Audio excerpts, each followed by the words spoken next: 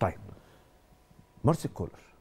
أنا قلت في بداية الحلقة النهارده إنه الأهلي كسبان مدرب كبير جدا. هل أنت مع الرأي دوت مع عدد كبير من المباريات اللي لعبها مع النادي الأهلي سواء في الدوري في الكاس في السوبر في أفريقيا في المونديال؟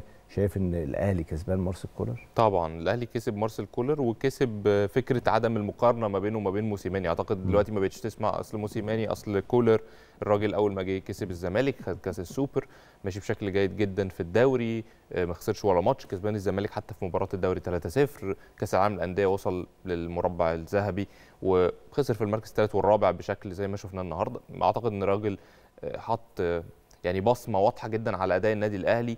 رقميا وكمان فنيا لأن أنت النهارده بقيت بتشوف تطور لعيبة على الأداء الفردي تطور في جلب الصفقات يعني الصفقات دلوقتي اللي بتيجي النادي الأهلي بتلعب على طول يا كريم. يعني النهارده خالد عبد الفتاح بيلعب على طول زي ما لعب ماتش الزمالك على طول.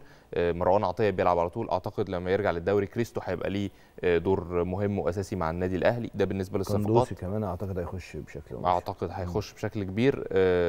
على المستوى الفردي بقى. شفت محمد هاني رجع لمستوى محمد هاني المعهود. محمد عبد المنعم رجع قريبا جدا لمستوى محمد عبد المنعم مع كيروش في منتخب مصر.